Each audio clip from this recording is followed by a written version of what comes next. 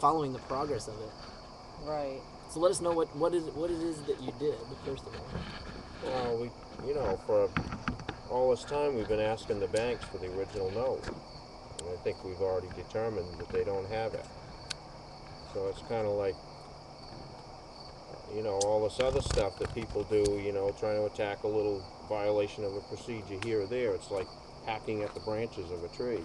Mm. Now, by going right after the Federal Reserve and, and uh, asking for the note or, or proof that they have the note and when they got it and how much money the bank got through their transaction when they cashed that note in at the discount window of the Federal Reserve, we're hacking at the roots of the tree.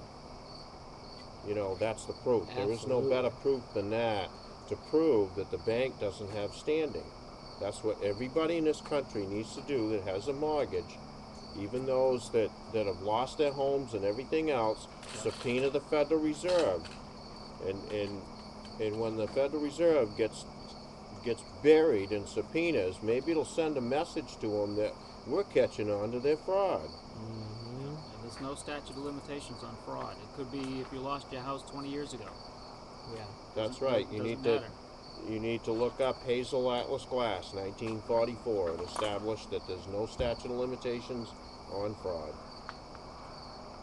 Yeah, that's and that's something that people, even if you've already, you're, you're like trying to recover from the situation, not to lose sight of that you.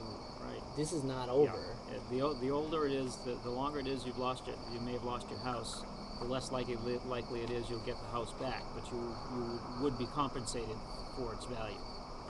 Which is huge. Yeah. Because you, can- Absolutely. 'cause you can go after, go after triple damages. Triple damages. Wow. that is great. Well, here, here's something that not too many people know about. Called the 1926 Banking Act.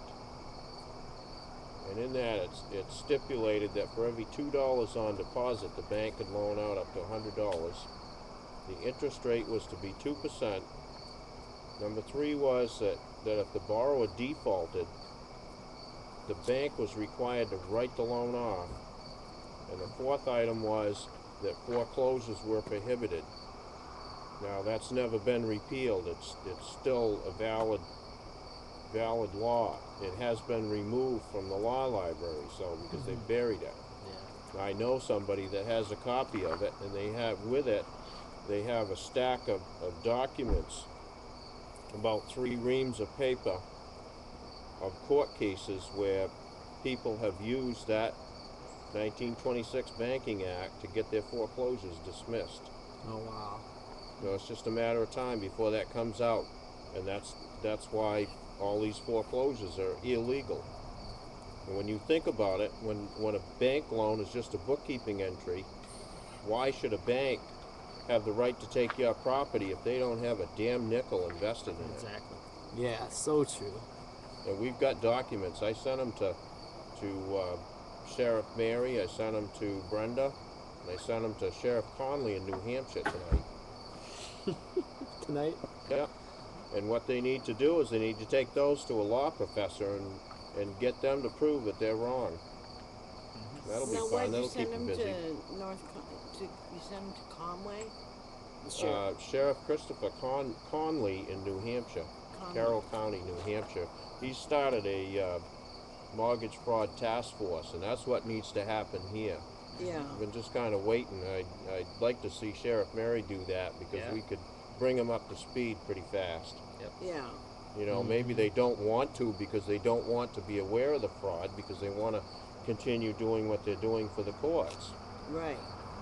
But, you know, it's all going to come out. The people have had it. Right. Had it. Yeah, You know, they ruined my life. They took my business. I had over 200,000 in 20 years invested. And then they took my house, which was worth almost 200,000. Now, was And your then I got business cancer. attached to your house? What's that? Your business was it attached to your house? Basically, yes, through a fraudulent document. Mm. It was tied to the real estate, and that's all fraudulent. I think they converted my truck loan into a mortgage-backed security and sold it out. Really? Yep.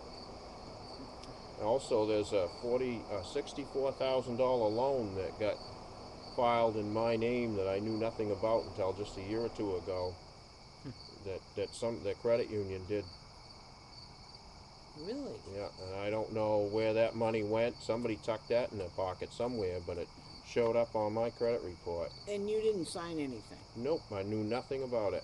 So if there's a signature on there that looks, that supposed spells out my name, it's not my signature, it's fraud. Wow. These guys don't care. Nope. They don't care at all. Yeah, just just a little tidbit for courtroom stuff. If an attorney ever hands you a piece of paper that's just a photocopy and asks you if is that your name, it's you can say you can lawfully say no because it's a photocopy. Well, speaking of copies, they use a copy of your promissory note to file into court. Mm-hmm. So what would be wrong with taking a picture of your house and walking into court and say, here's a copy of my house to satisfy your copy of the note? Think about it. That's right. Same thing, ain't it? That's right. Yep. yep. Or or ask the judge to say, if I were to cut, to make a photocopy of a twenty dollar bill and take it downtown and, and try to spend it, Right. I'd be thrown in jail. Right. This is exactly what the bank is doing. Only they're stealing hundreds of thousands of dollars worth of property. Right. They're making a photocopy of the note and trying to pass it off as the real thing. And what are they And here's a copy of my ass, so you can kiss it. Jesus Christ.